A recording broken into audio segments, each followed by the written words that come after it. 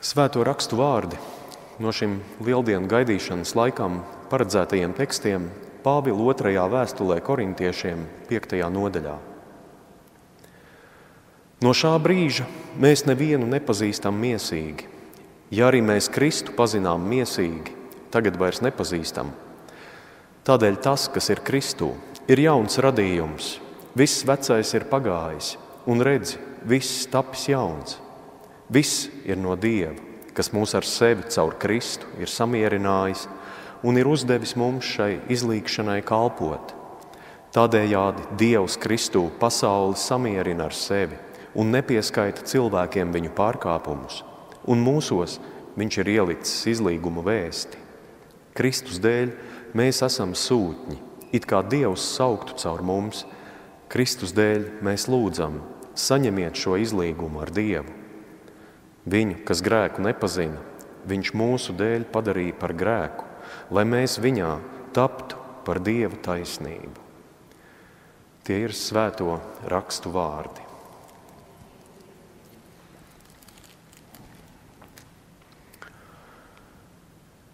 Ikvienam ir tādi brīži vai posmi dzīvē, kad jūties kā iestrēdzis vai iestidzis.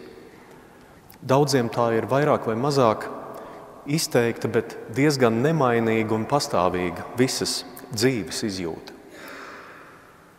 Iestaigātie ceļi, pienākumi, ko es uzņēmies, pieredumi, ko nespēju mainīt, atmiņas, no kurām nespēju atbrīvoties. Vai pierastais veids, kā tu atsaucies uz noteiktām situācijām vai atbildi citiem, pierastais veids, kā tu jūties attiecībās ar citiem. Protams, ar dažādiem cilvēkiem tas ir dažādi cits ar kolēģiem un priekšniecību, citā veidā ar tuviniekiem, cits ar vecākiem vai ar bērniem vai draugiem. Bet šīs izjūtas it kā notiek automātiski pašas no sevis. Tā vienkārši ir. Lielu daļu no šiem ieradumiem tu nemaz neapzinies. Viss, ko tu jūti, viss, ko tu redzi, un viss kā tu redzi, ir pašsaprotams un pat tā netiek apšaubīts. Bet kas notiek tad, ja šie iestaigātie ceļi, pieredumi, pienākumi, atmiņas, sajūtas, attiecības, kad kaut kas no tā kļūst pārlieku smags? vai varbūt izraisa konfliktus un dažkārt pat nepanesamus sarežģījumus. Atbilde ir cik vienkārša, tik patiesībā vispārīga un pirmajā mirklī varbūt neko neizsakoša. Proti, dzīve kaut kā tomēr notiek. Visa cilvēciskā drāma visa pasaule, ko pazīstam, tas jau ir tas, kas notiek caur konfliktiem, sarežģījumiem, izlīgumiem un jauniem konfliktiem. Un katrs cilvēks izdzīvo kaut kādu savu veidu, kā pielāgoties, kā izturēties, kā aizbēgt vai paslēpties, kā izkarot savu taisnību vai kā samierināties. Un pasaule, pasaule, kurā dzīvojam, visa mūsu pasaule, ir visu šo sarežģīto attieksmi un attiecību piepildīta un patiesībā veidota. Tik liela, sarežģīta, par mums katru atsevišķi daudz varenāku spēku pilna. Un, protams, bieži ir sajūta, ka es jau neko nevaru mainīt. Taču dažas rindas no eh, Pāvila vēstules, ko šodien lasījām, liek ieraudzīt vai palūkoties uz visu mazliet savādākā gaismā. Es gribētu piedāvāt, padomāt par to, kā cilvēks tā vietā, lai meklētu paļāvību uz Dievu un mainītu to, kas varbūt ir maināms. Patiesībā Dievu padara atbildīgu par to, kā ir, un ar to attaisno savu sajūtu, ka es jau neko, es jau nevaru neko izdarīt. Ir vienkārši bauslībā doto aizliegumu lietot kunga, sava dieva vārdu velti, iztulkot kā tādu vienkāršu norādījumu, nepiesaukt dievu nevietā un vietā un pārāk daudz. Tomēr vai dziļākajā un būtībā daudz nopietnāka dieva vārda veltīga lietošana nav savā pasaules izjūtā dievu nemanāmi sasaistīt ar atbildību par to, kāda pasaule ir un kāda ir tava dzīve. Jeb citiem vārdiem, atbildības uzņemšanos pašam par savu dzīvi pretstatīt paļāvībai uz Dievu. Un tie ir dziļi, dziļi maldi. Savukārt, to ceļu, to cilvēka esamības veidu, kas ir pilnīgi pretējs šiem maldiem, var raksturot arī ar vārdiem, citiem vārdiem, ko šodien lasījām tajā pašā vēstules fragmentiņā. Tas, kas ir Kristū, ir jauns radījums. Viss vecais ir pagājis, un redzi, viss tapis jauns. Ko šeit nozīmē būt jaunam radījumam, jeb no jauna radītam?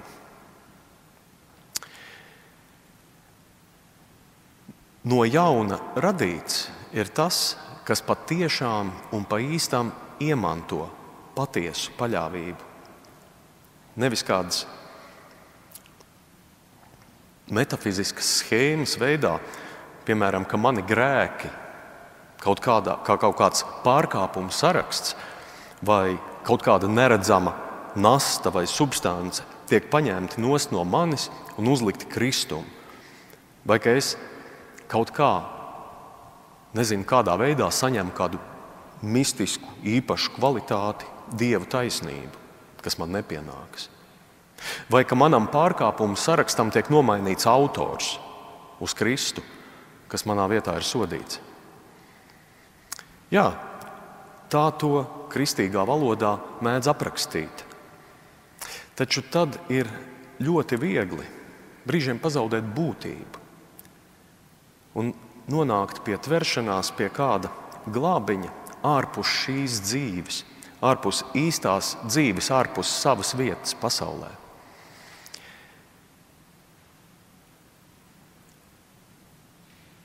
Ticība glābšanai ārpus šīs dzīves it kā ir tāda liela, visaptveroša un tā kā pierasta lieta, vismaz jēdziens. Bet, ziniet, pastāv risks, ka tā vienkārši to tverot, arī pati glābšana paliek ārpus šīs dzīves. Cita lieta ir saprast, cik tas ir ļoti reāls un šai dzīvē piederīgs.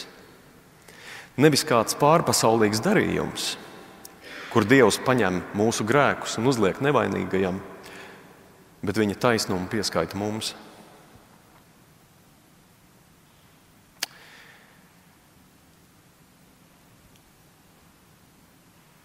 Pāvila vārdiem būt Kristū nozīmē saprast to, ka Jēzus krusta ceļā atklājas tā visa ideālā, labā, mīlestības un miera pilnā esība es, miera pilnās esības un tā attiecību veida, pēc kā patiesībā dziļumos ilgojas ik viena dvēsele, ik viens cilvēks. Tā visa sadursme ar cilvēka salauzto dabu, ar bailēm, neusticēšanos, nedrošību, agresiju, naidu, sautību. Saprast to, ka lai arī es esmu vainīgs citu cilvēku un Dievu priekšā ar to, kā rīkojos. Es neesmu vainojams pie tā, kāds es esmu. Protams, jāspēj sevi ieraudzīt tās pašas īpašības, tās pašas dziņas, un tās mūsos ir, kas vadīja Jēzus tiesātājus un slepkavus. Un tomēr ieraudzīt arī to, ka es neesmu vainīgs pie tā, kas ir noticis manā dzīvē. Vēl tad, kad kā mazs bērns varbūt kādā reizē nobijos no tumsas, kad mani neuzklausīja, kad nepaņēma rokās raudošu, bet sabāra, lai netrokšņoja. Šodien mēs jau detaļās, precīzi un skaidri zinām, kā veidojas cilvēks, kā veidojas maza cilvēka apziņa, raksturs. Viss tas, kas no dieva radītās un veidotās dvēseles paliek pāri, ienākot un iedzīvojoties šajā pasaulē. Bet Kristū mēs varam ieraudzīt to, kā sevi izdzīvo dvēsele, kuru nav skāris tas viss, ko uzskaitīja, un vēl daudz kas cits, ko apraksta mums tāds labi pazīstams jēdziens, iedzimtais grēks. Šāda grēka neskarta dvēsele ir tas, ko Dievs vēlas. Šāda dvēsele, kāda tā ir vēl grēka neskarta, ir spējīga uz dievišķo piedošanu. Kristus par saviem slepkavām saka, Tēvs piedod viņiem, jo tie nezina, ko dara. Un padomāsim, vai tiešām Kristus šos vārdus saka Dievam. Kristus tos saka tieši un tikai saviem tiesātājiem un mums, lai mēs dzirdētu, lai mēs beidzot saprastu un sajustu. Tas ir pats svarīgākais, kas Kristū nāk pie cilvēka. Dieva vēstījums, ka tu nebūtu neesi tāds, kā tu sevi redzi. Un tu neesi tas, kā tu bieži vien automātiski rīkojies vai jūties. Šī vēstījuma jēga ir, tu Dievu priekšā esi daudz kas vairāk. Un to saklausīt nozīmē sākt mācīties spēju pieņemt pašam sevi. Godīgi uz sevi palūkoties, mēģināt saprast, kāds esi un kāpēc rīkojies, jūti, domā savā pierastajā, noteiktajā, bieži vien iestrēgušajā veidā. Un saprast to, ka Dieva piedošana vispirms ir svarīga tieši šajā visdziļākajā esības līmenī. Jo tikai no tās rodas spēks patiešām uzņemties atbildību. Nevairs kā vainas apziņu par to, kā esmu rīkojies, bet gan par to, kāds es būšu, kāds es tapšu Dieva priekšā.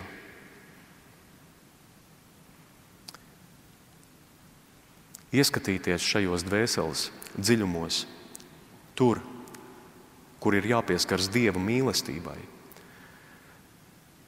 nozīmē sevi padarīt ļoti ievainojamu, neaizsargātu. Tas nozīmē apzināti ieskatīties acīs patiesībai, patiesībai par sevi, tam, kas patiešām sāp vai kādreiz ir ļoti sāpējis. Un arī par to runā Pāvila vēstules vārdi. Viss ir no Dieva, kas mūs ar sevi caur Kristu ir samierinājis un ir uzdevis mums šai izlīgšanai kalpot. Tādā veidā Dievs Kristū pasauli samierina ar sevi un nepieskaita cilvēkiem viņu pārkāpumus. Un mūsos viņš ir ielicis izlīguma vēsti. Kristus dēļ mēs esam sūtņi, It kā Dievs sauktu caur mums, Kristus dēļ mēs lūdzam, saņemiet šo izlīgumu ar Dievu. Var jau šos vārdus atkal uztvert tā vienkārši. Mums ir jāiet un jāskaidro citiem, kā tas viss ir, jāpastāsta, jāsludina. Bet ieklausieties, viss ir no Dieva. Viņš mūs ar sevi ir samierinājis un uzdevis šai izlīgšanai kalpot. Es uzdrošinos sacīt, šī kalpošana vispirms nozīmē ļaut tuvākajam, kas cieš, sajusties pietiekami droši, lai arī viņam būtu iespēja kļūt ne, neaizsargātam un ievainojamam, ieskatoties savas dzīves mezglos un tos atraisīt. Dot iespēju otram nevis dzirdēt par dieva mīlestību, bet to sajust. Es domāju, ka tas arī ir skaidrojums Pāvila vārdiem, kad viņš saka, agrāk mēs Kristu pazinām miesīgi, bet tagad šādi vairs nepazīstam. Neuzlūkot Kristu kā līdzekli vai instrumentu, kas ļauj man cerēt, uz tādu īsti līdz galam nesaprotamu pestīšanu kaut kur, kaut kad. Tas ir Bībeles valodā runājot, mīsīgs, no miesas, no mana ego nākošs ieskats.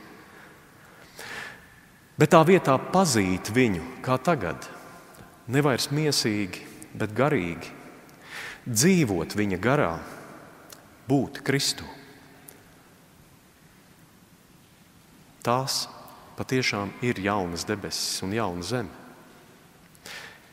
To Pāvils aicina līdzdalīt, sniegt, dot arī citiem cilvēkiem. Iespēju piedzīvot, pieredzēt īstu piedošanu, un ar to sajust spēku, uzņemties atbildību par to, lai kļūtu par to cilvēku, kādu Dievs katru ir radījis un vēlas redzēt. Amen.